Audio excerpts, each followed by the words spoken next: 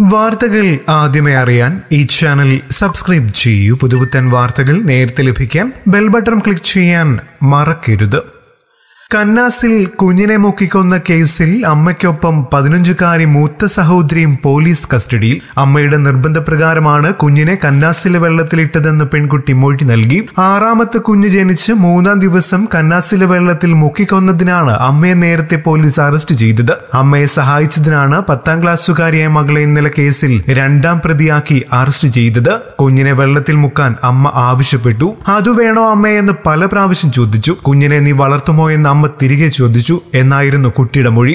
ജുവാനൽ justice ബോർഡിന് മുൻപിൽ ഹാജരാക്കിയ പെൺകുട്ടിയെ കോഴിക്കോട്ടെ പെൺകുട്ടികൾക്കായുള്ള ഒബ്സർവേഷൻ ഹോമിലേക്ക് മാറ്റി. ഇടതുകാലിന് ശേഷിയില്ലാത്ത തനിക്ക് ആറാമതൊരു കുട്ടിയെ കൂടി വളർത്താനുള്ള സാമ്പത്തിക ബുദ്ധിമുട്ടും അപമാനവും ഭയന്നാണ് കൊലപ്പെടുത്താൻ തീരുമാനിച്ചത് എന്നാണ് അമ്മ നൽകിയ മൊഴി. അമ്മ ഇപ്പോൾ പോലീസ് കസ്റ്റഡിയിൽ കാഞ്ഞിരപ്പള്ളി താലൂക്ക് ആശുപത്രിയിൽ ചികിത്സയിലാണ്. ഇവരുടെ രണ്ടാമത്തെ മകൻ അഞ്ചാം ക്ലാസ്സിലും മൂന്നാമത്തെ മകൾ രണ്ടാം ക്ലാസ്സിലും നാലാമത്തെ മകൾ എൽ കെ ജിയിലുമാണ് പഠിക്കുന്നത്. അഞ്ചാമത്തെ മകന് രണ്ടു വയസ്സാണ്. പ്രായം. പെൺകുട്ടികൾ വണ്ടൻ പതാലിലെ സംരക്ഷണ കേന്ദ്രത്തിലും മൂത്ത ആൺകുട്ടി ഇഞ്ചിയാനിലുള്ള സംരക്ഷണ കേന്ദ്രത്തിലും രണ്ടു വയസ്സുകാരൻ തോട്ടയ്ക്കാട്ടെ ശിശുഭവനിലുമാണ് ഇപ്പോൾ ഉള്ളത് യുവതിക്ക് ഇടതുകാലിന് ശേഷിയില്ല. മൂത്ത മകളാണ് ഇളയവരെ പരിചരിക്കുന്നതടക്കം വീട്ടുജോലികൾ ചെയ്തിരുന്നത്. ഒരു മുറിയും അടുക്കളയും ശുചിമുറിയും മാത്രമുള്ള വാടക വീട്ടിലായിരുന്നു ആറുപേരും താമസിച്ചിരുന്നത്. ക്രമരഹിതമായ ആർത്തമുണ്ടാവുന്നതിനാൽ ഗർഭിണിയാണെന്ന കാര്യം മാസങ്ങൾ കഴിഞ്ഞാണ് തിരിച്ചറിഞ്ഞത് എന്നാണ് യുവതിയുടെ മൊഴി. കഴിഞ്ഞ ഞായറാഴ്ച പുലർച്ചെ രണ്ടു മണിക്ക് വീട്ടിൽ വെച്ചാണ് പ്രസവിച്ചത്. അച്ഛൻ തന്നെ പൊക്കിൽക്കുടി മുറിച്ചു. അമ്മ തന്നെയാണ് കുഞ്ഞിനെ കുളിപ്പിച്ചത്. ഒരേ മുറിയിൽ കിടന്ന മക്കൾ വീട്ടിൽ കുഞ്ഞുണ്ടായ വിവരം അറിയുന്നത് പിറ്റേന്ന്